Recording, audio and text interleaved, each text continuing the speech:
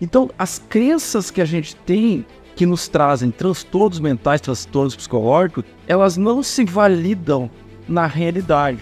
Então eu vou te dar um exemplo. Uma crença sobre si próprio. Eu sou burro. Tem gente que se acha burra. Tem gente que se acha totalmente incapaz intelectualmente, cognitivamente. Essas crenças vão trazendo uma limitação na vida da pessoa. Ela começa a ficar sempre fazendo a mesma coisa, ela tem medo de tentar novas é, empreendimentos na vida dela, novas ações, novos conhecimentos, contato com novas pessoas, porque ela acha que ela é burra e que ela não vai conseguir conversar com as pessoas, ela vai conseguir ter um bom desempenho.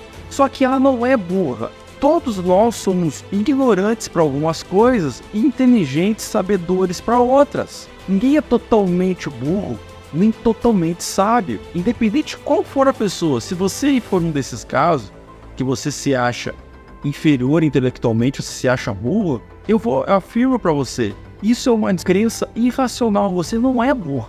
Você pode ter ignorâncias, informações que você não tá, que você não sabe. Todos nós somos assim. Mas você tem inteligências, você tem habilidades, você tem é, é, capacidades que outras pessoas não têm. Então veja, você não é burro. Esse rótulo, essas generalizações são típicas das crenças irracionais. E o que é pior, a pessoa mesmo, devido às distorções cognitivas, começa a criar maneiras de interpretar a realidade que acabam confirmando essas crenças irracionais. Vou dar um exemplo. A pessoa se acha burra, então ela está na escola e aí ela tira uma nota boa, tira uma segunda nota boa, tira uma terceira nota boa, mas ela ainda não se convenceu que ela tem capacidade, que ela tem inteligências.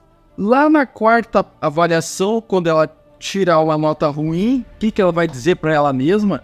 Viu? Eu te falei que tu era burra. Eu te falei que tu era burro. Eu falei que tu não ia conseguir. Confirmou a criança. Então veja, a pessoa, ela não parou para questionar, contestar, avaliar tecnicamente, como se fosse um cientista, as suas próprias crenças. Ela não identificou e não avaliou. Ela não parou pensar assim, olha, bom, eu tirei uma nota ruim aqui, mas tirei outra boa aqui, outra boa aqui, outra ruim, outra boa aqui. Eu não nem tanto ao mar, nem tanto a terra. Há um gradiente. Não é tudo ou nada, 80, 880, preto ou branco. Isso nos leva a uma flexibilidade psicológica na análise de tudo que acontece na nossa vida.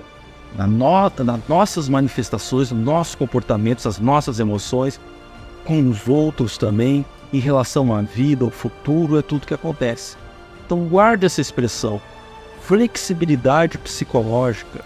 Grave essa outra também, contestação de crenças irracionais. Porque quando a gente fala em autoconhecimento, não é brincadeira, não é autoajuda, é autoconhecimento real.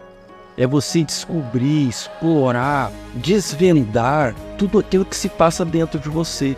E um, e um dos desafios mais interessantes, mais instigantes, que vale a pena você entrar nessa, é na análise, descoberta e avaliação das suas crenças irracionais. Aquelas crenças que estão influenciando o tempo todo as tuas emoções, os teus sentimentos, os teus comportamentos e a tua vida como um todo.